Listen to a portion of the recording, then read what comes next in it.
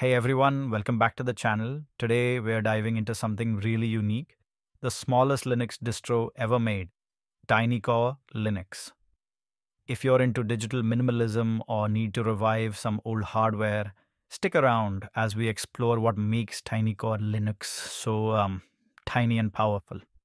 What exactly is TinyCore Linux? As the name suggests, it's all about minimalism. TinyCore Linux is designed to have a tiny core just enough to boot up and display a desktop. This means it includes the essential kernel, BusyBox, and an FLWM desktop, and nothing more. The ISO image is incredibly small at only 21 megabytes. All additional applications are provided as extensions that you can download separately using the distro's package manager. Founded by Robert Shingledecker, who also developed Damn Small Linux, TinyCore Linux is really the spiritual successor to DSL. And here's the cool part the whole system gets loaded into your RAM, making everything super fast.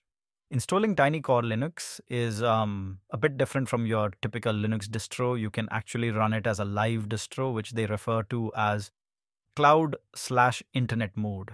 In this mode, you can download and install apps, but note they'll disappear once you restart unless you choose a different installation option.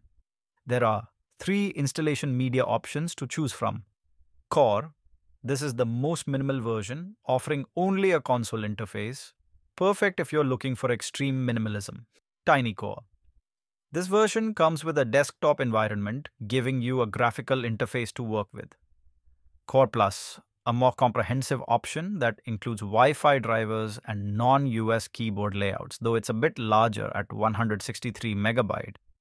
To get Tiny Core Linux running, you simply extract the installation media and boot it like any other Linux distro. At boot time, you'll see various boot options. If you've used Knoppix, this should feel familiar. And to actually install it on your hard drive, you'll use the menu driven TC install program from the package manager. It's as simple as picking your partition and installing the bootloader.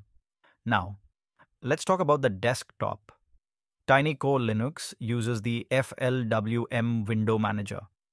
The look is a bit rough around the edges, kind of like a late 90s throwback, but it's very functional. You'll see extensions automatically installed to a dock at the bottom of the screen, and you can launch apps via a right click menu. Speaking of extensions, TinyCore comes with its own package manager. On the first boot, it automatically selects the fastest mirror for you. With the graphical app browser, you can search and install all sorts of extensions. Once downloaded, these extensions are loaded into RAM on each boot, ensuring that your system stays light and fast. So, is TinyCore Linux uh, right for you? If you're into digital minimalism or need to breathe new life into an older computer, even one with an i486 processor and just 48 megabytes of RAM, Tiny Core Linux could be a great choice. Just keep in mind, if you start installing larger applications like Firefox or LibreOffice, the system won't stay as tiny as it was originally intended to be. This distro bucks the trend of ever larger Linux images by keeping things minimal its lightweight nature makes it ideal not only for old PCs but also for embedded applications like routers or minimal servers. In a world filled with bloated distros, TinyCore Linux stands out by doing just a little bit and doing it very well.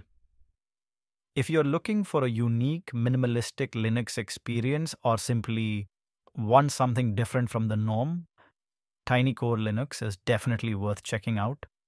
All right, that wraps up our look at TinyCore Linux, the smallest Linux distro ever made. If you enjoyed this video, please give it a thumbs up, subscribe for more tech deep dives, and leave a comment down below with your thoughts or questions. Thanks for watching, and I'll see you in the next video.